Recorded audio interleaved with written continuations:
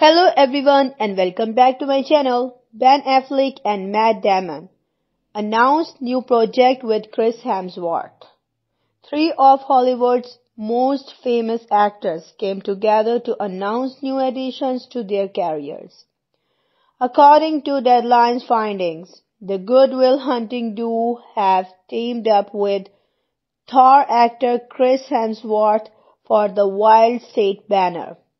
As fans know, Matt Damon and Ben Affleck co-founded, art, co-founded Artist Equity, a company with the vision of building entrepreneurial partnerships with filmmakers on their creative visions.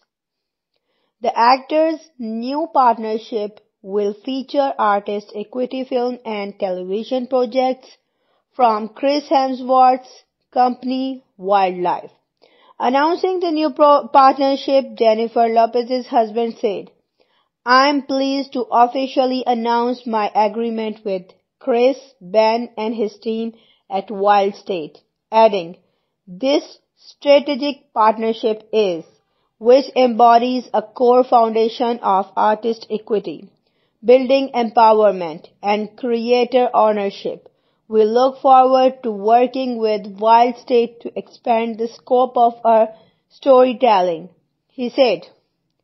Then dropping the topic, joining his three partners on the unscripted projects. Banner is Chris and his partner Ben Grayson, producer of his geographic projects.